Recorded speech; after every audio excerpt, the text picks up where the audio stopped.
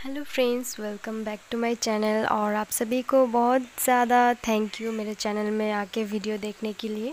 तो आज मैं बात करने जा रही हूँ इस प्लान के बारे में। तो ये है मलबेरी ठीक है?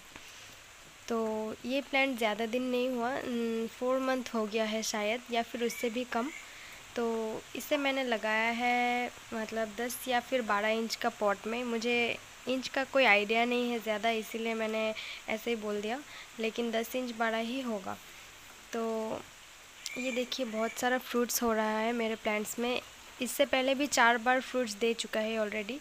तो ये कटिंग का प्लांट्स था, नर्सरी से मैंने लाया और ये इतना छोटा छोटा दिख रहे हैं आप, क्योंकि मैंने देसी वैरायटी लाया जो एक्चुअल वैरायटी है। अभी तो बहुत सारा वैरायटी निकल गया, हाइब्रिड वैरायटी और भी बहुत सारा निकल गया।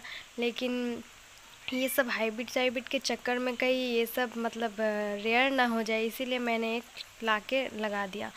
तो ये फ्रूट्स देख ही सकते हैं, बहुत अच्छी तरीके से पक गया और इस बार मुझे अच्छा खासा फ्रूट्स दिखाई दे रहा है।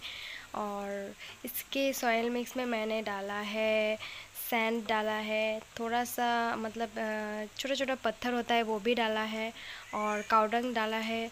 और vermicompost plus garden soil ये सब एक साथ लाइट सॉइल मिक्स मिक्स करके मैंने एक सॉइल मिक्स रेडी किया और ये प्लांट कर दिया।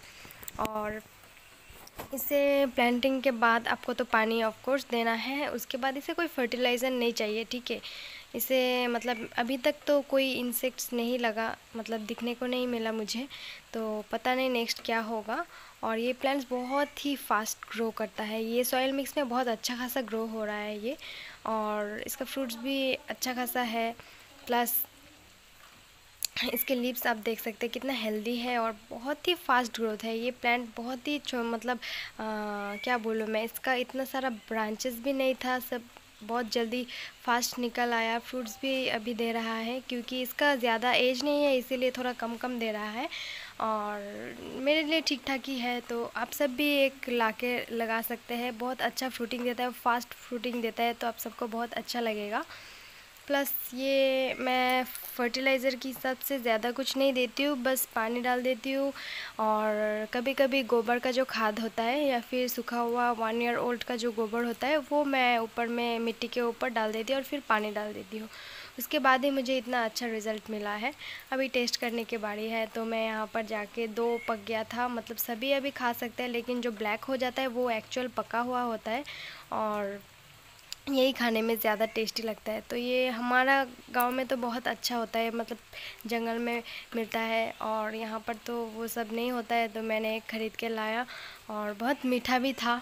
तो अच्छा लगा, आप सब भी लगाइए और वीडियो कैसा लगा मुझे कमेंट में ज़रूर बताइएगा। लाइक, शेयर, सब्सक्राइब कर दीजिएगा। Thank you.